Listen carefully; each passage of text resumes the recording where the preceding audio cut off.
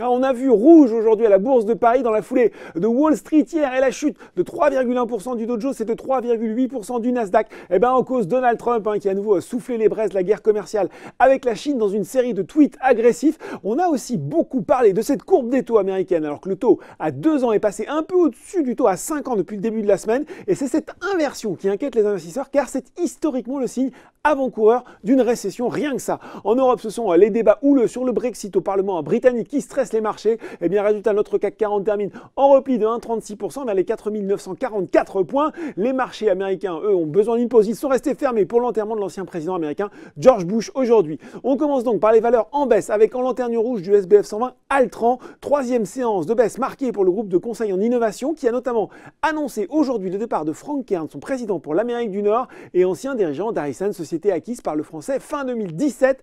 Target aussi recule nettement le spécialiste des revêtements de sol et pénalisé par JP Morgan qui passe carrément de surpondéré à sous-pondéré avec un objectif de cours ramené de 24 à 20 euros. Et puis c'est aussi JP Morgan qui fait trébucher Saint-Gobain passant de surpondéré à neutre avec un objectif de cours abaissé de 53 à 40 euros estimant notamment que les prévisions de bénéfices du groupe restent trop élevées pour 2019. Enfin, malgré le rebond de plus de 2% du baril de Brent, CGG repart à la baisse, moins 6,43%.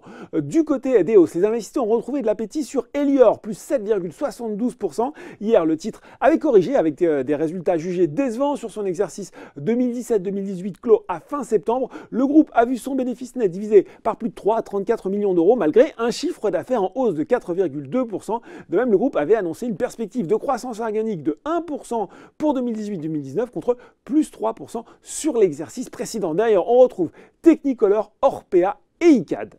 Voilà, c'est tout pour ce soir, mais n'oubliez pas le reste de l'actu éco et finance est sur Boursorama.